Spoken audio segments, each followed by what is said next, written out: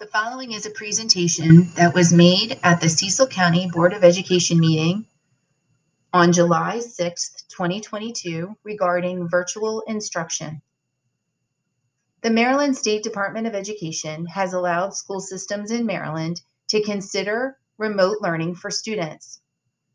MSDE has allowed school districts to repurpose certain school days and use them as virtual school days. They will provide each district an opportunity to consider a total of eight days, with guidelines surrounding five being synchronous and three as asynchronous days for learning. Maryland State Department of Education has provided several guidelines to school districts. First, on synchronous learning days, students must have a minimum of four hours of synchronous learning time. Secondly, Attendance will be taken for all students and these processes communicated with parents. Next, there will be opportunities for students to make up missed work on these virtual days, and they will not negatively impact a student's grade with makeup opportunities also provided. The virtual day plan must be posted on a school system's website. And finally, that plan must be presented at a Board of Education meeting and parents provided an opportunity to comment. A small committee gathered to discuss how these virtual days will impact Cecil County Public Schools. Of these eight days, five are synchronous. The committee proposed that two of these days be scheduled days, one being October 3rd and the second being February 21st. The three remaining synchronous days will be held and used if there is inclement weather. Next, three of these eight days are considered for asynchronous instruction.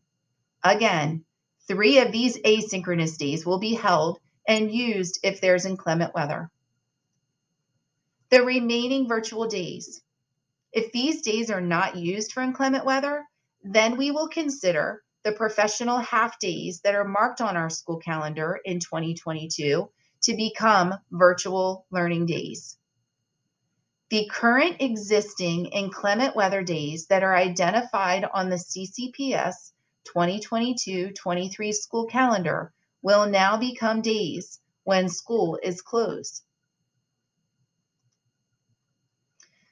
There are many logistics to consider when you are considering virtual instruction. For synchronous instruction on the two scheduled days in October and February, as well as for synchronous inclement weather days, instruction will begin at 9:30 for both students in high school and elementary school. Schedules will be provided by the schools for student learning, and instruction will be provided during scheduled classes. For asynchronous learning, again, Three of these days will be used for inclement weather. Work will be provided for students in Schoology or Seesaw. Paper packets will be provided if parents request them. And teachers will be will provide a schedule of office hours to provide support to students who may require it.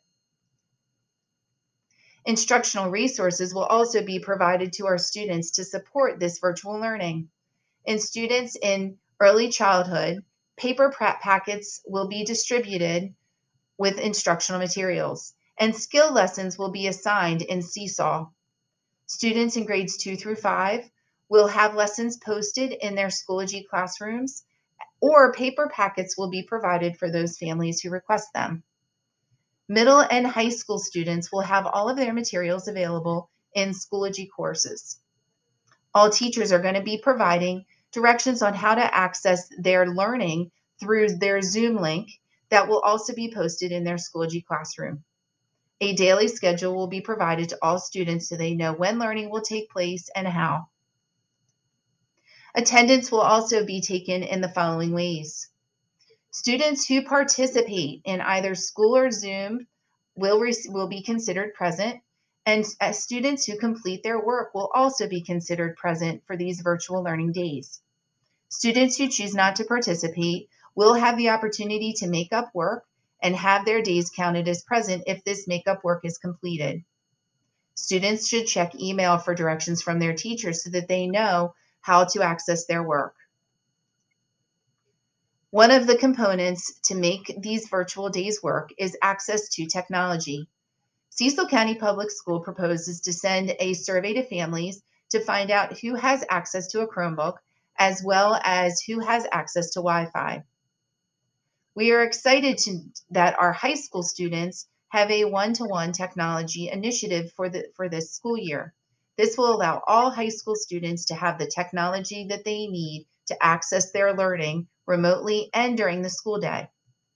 For those families that do not have a Chromebook or technology in their homes, a Chromebook will be assigned to students. Families who receive a Chromebook will also need to sign a user agreement. Each school has created a plan to distribute and then collect Chromebooks as well as AC adapters to and from students to support this virtual instruction. At this time, if you have public comments regarding this plan, they can be submitted via email to Kelly Keaton, Cecil County Public Schools Public Information Officer at kkeaton at ccps.org.